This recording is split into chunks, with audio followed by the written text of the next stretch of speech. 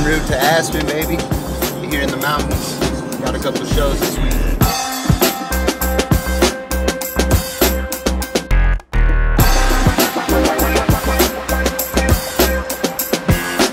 Yo, what up, y'all? Heading up to Aspen to play the belly up with Murs and the Grouch.